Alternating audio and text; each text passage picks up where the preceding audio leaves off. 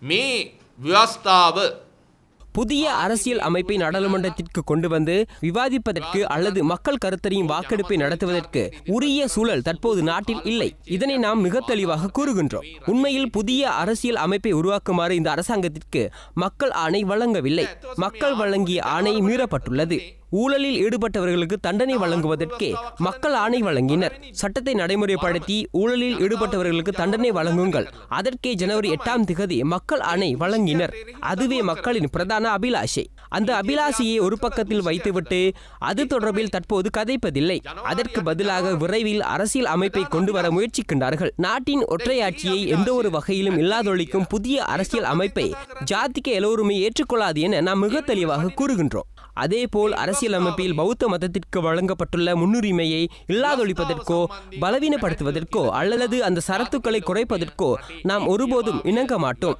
பௌத்த மதத்திற்கு வழங்கப்பட்டுள்ள முன்னுரிமையை மேலும் பலப்படுத்த வேண்டும்.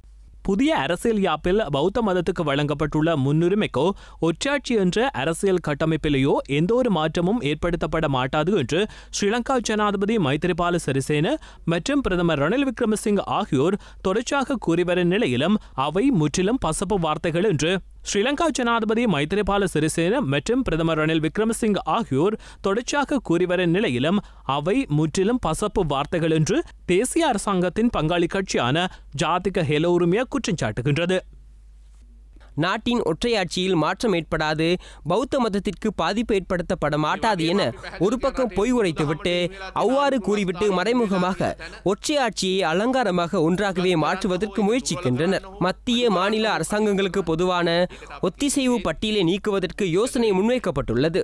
மீள பெற முடியாத அதிகாரங்கள் மாகாண சபைகளுக்கு வழங்கப்பட வேண்டும் என தமிழ் தேசிய கூட்டமைப்பு தெளிவாக கூறுகின்றது. மீள பெற முடியாத அதிகாரம் தேவை என்றால் அது பிரிக்கப்படாத அதிகாரம் என்பது தெளிவானது. இது ஒற்றையாட்சியாக முடியாது. தெளிவாக சமஷ்டி ராஜ்யமாகும். ஒத்திசைவு பட்டியலை நீக்கி பின்னர் மீதமாக எதுவும் இருக்காது. நாடு மீதம் இருக்காது. தெளிவாக பிரிக்கப்பட்ட நாடாகிவிடும். சமஷ்டி ராஜ்யமாகும். ஆளுநரின் அதிகாரத்தை குறைக்குமாறு யோசனை முன்வைக்கப்பட்டுள்ளது. ஆளுநர் என்பவர் யார்?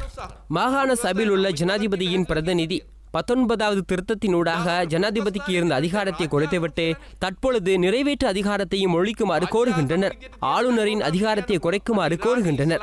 நிறைவேற்று அதிகாரத்தையும் நீக்கிவிட்டு அடுத்ததாக ஆளுநரின் அதிகாரத்தையும் குறைத்து ஒத்திசைவு பட்டியலையும் நீக்கினால் சமஷ்டி ராஜ்யம் உருவாவதை எவராலும் தடுக்க முடியாது.